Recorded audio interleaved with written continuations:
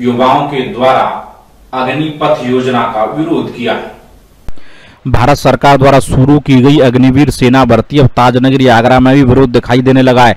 युवाओं का कहना है कि हम तो पैदा सेना में भर्ती होने के लिए ही होते हैं, लेकिन इससे एक उम्र की सीमा निर्धारित कर दी गई है, जो कि न्यायोचित नहीं है। इस योजना से युवाओं को झटका लगा है। हम लोग तो इसी उम्मीद के साथ जोड़ते हैं कि देश के लिए शहीद होंगे या रिटायरमेंट के बाद वापसी करेंगे, लेकिन यहाँ पर तो चार साल बाद हमें बेदखल कर दिया जाएगा। ताजनगरी आगरा के थाना सदर बाज़ार स्थित सेना भर्ती कार्यालय में युवा इकट्ठे होकर जमकर नारेबाजी की और उन्होंने आरोप लगाया कि हमारे साथ धोखा हुआ है। अब बिहार के साथ साथ उत्तर प्रदेश में भी अग्निपथ सेना भर्ती का विरोध दिखने लगा है। जाम की सूचना पर SSP Sudhir Kumar Singh, SP city Anjani Kumar Singh, Vikas Kumar सहित कई थानों का पुलिस फोर्स मौके पर पहुँच गया और बल प्रयोग कर जाम को खुलवाया गया। अमन गुप्ता, आगरा, समाचार ट्वेंटी हुए थे और इनके कई गुट बने हुए थे।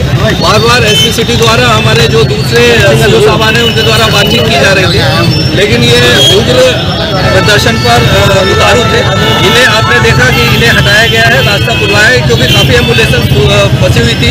जो मरीज़ थे वो इसके अंदर फंसे हुए थे। और यात्री जो थे वो परेशान हो रहे थे तो मार्ग खुलवा दिया गया है और पूर्ण तक शांति है। देखिए जहाँ तक हमारा अपना मानना है ये लोग कोचिंग सेंटर में आए थे कोचिंग सेंटर से सब लोग ये इकट्ठे हुए थे। तो अभी दो तीन दिन के लिए कोचिंग सेंटर से बात करके उन्हें बंद कराया जाएगा ताकि ये लोग आगरा में कांग्रेस